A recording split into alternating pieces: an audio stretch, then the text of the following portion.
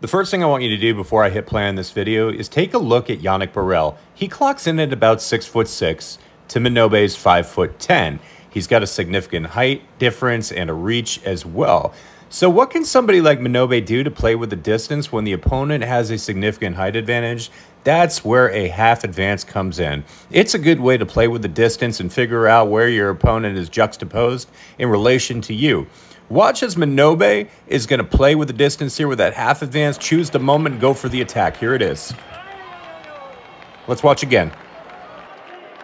So this is going to start off with a little bit of a game of chicken in the box. Minobe is going to start off with a half advance, but Borel is still out of attacking range, so he's going to shift back and forth between the half advance and half retreat to lure Borel into distance.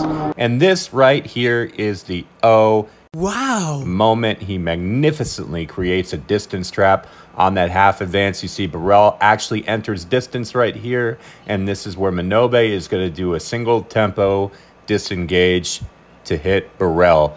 This is how you use a half advance to manipulate distance on a larger opponent.